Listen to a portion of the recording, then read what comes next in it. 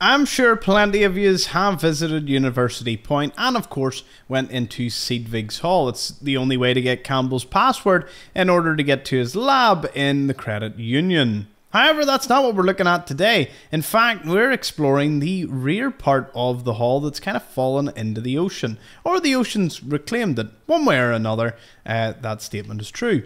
The Vault-Tec lunchbox and a wee first aid kit is just the beginning. For you see, when you actually try to enter the hall, you have two options.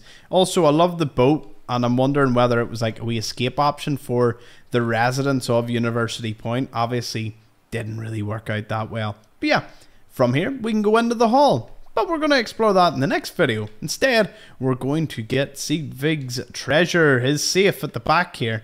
I say treasure. It uh, has a sleeping bag and an expert lock safe. I'm going to unlock it because I sadly have no more bobby pins. This series took an awful lot of bobby pins in the beginning.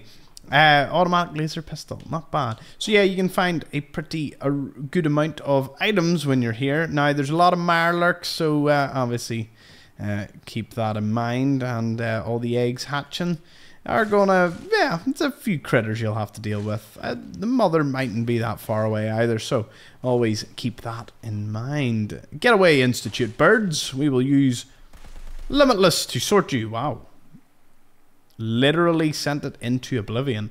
Awesome. All right well that's Sedgwick's treasure. We're gonna enter probably from this point be a cool wee way to get in and uh, see what we can find inside the hall. See you then. Thank you for watching